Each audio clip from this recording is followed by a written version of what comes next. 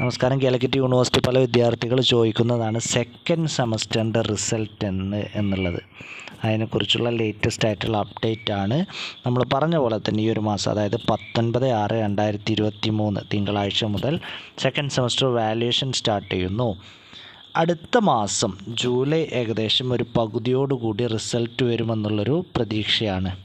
നമുക്കറിയാം ഓഗസ്റ്റ് ആദ്യ വാരം സെക്കൻഡ് സെമസ്റ്റർ റെഗുലർ സപ്ലിമെന്ററി ഒക്കെ എക്സാം വരുന്നുണ്ട്. അതിന് മുന്നോടിയായിട്ട് എക്സാം റിസൾട്ട് പബ്ലിഷ് ചെയ്യാൻ വേണ്ടിയിട്ടാണ്. മറ്റു വിശേഷങ്ങളുമായി വീണ്ടും കാണാം. താങ്ക്